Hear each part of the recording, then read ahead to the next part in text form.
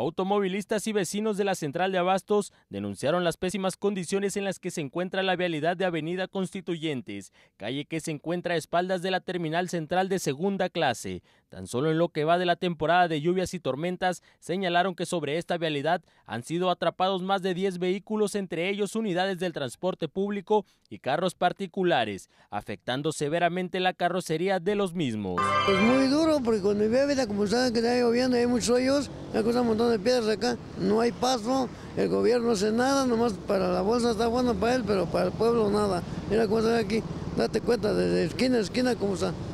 ¿Cuántos automóviles se han logrado, se han caído en este hueco? Eh, han caído varios, aquí han descompuesto varios, ha habido hasta choques acá adentro, pero el gobierno no ve nada de eso, todo para acá y nada para allá. Urbaneros, puro urbanero, es el que está poniendo todo ese material para que pongan en la calle esa, porque si no, no se hace nada. El gobierno, le digo, no hace nada.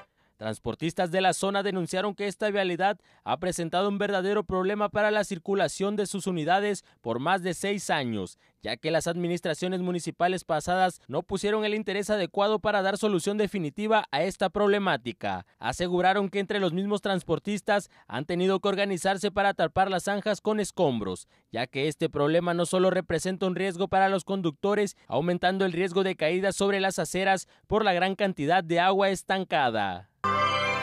El diario me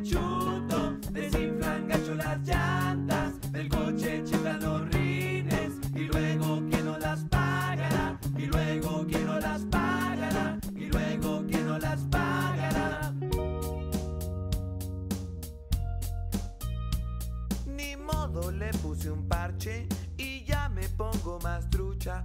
Por todos lados hay baches y la neta no hay mucha.